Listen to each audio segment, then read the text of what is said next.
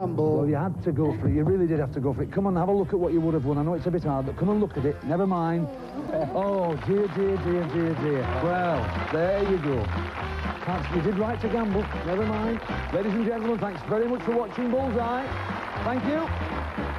We'd like to thank our studio audience. We'd like to thank Tony Green, Duncan Norvelle, all our contestants. Have a lovely new year because the new year and Sundays wouldn't be the same without a bit of bully. See you next week. Bye.